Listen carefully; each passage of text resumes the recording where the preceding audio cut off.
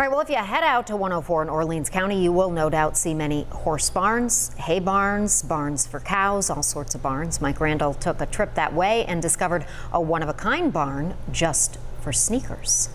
About four decades ago, Bill Blount stepped into the sneaker biz. And I ended up uh, as a rep for Reebok back in 1982 when they were just starting.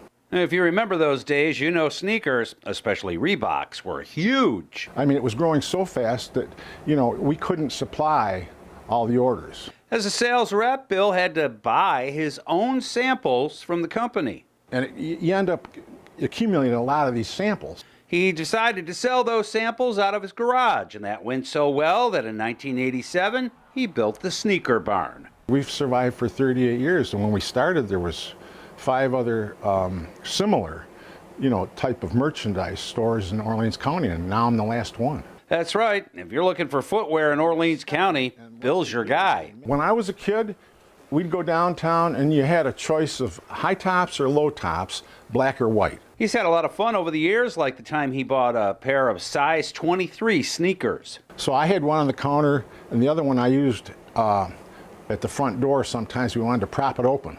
And then a customer with really big feet wanted to buy them. He says, Do you mind if I try it on? I said, Go right ahead.